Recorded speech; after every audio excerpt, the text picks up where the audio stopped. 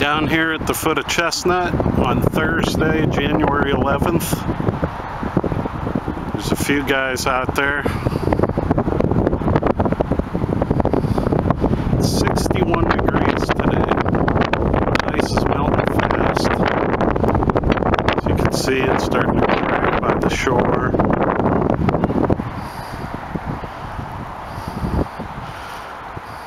Guys are still going out on it though, so maybe it'll be good through this uh, warm snap.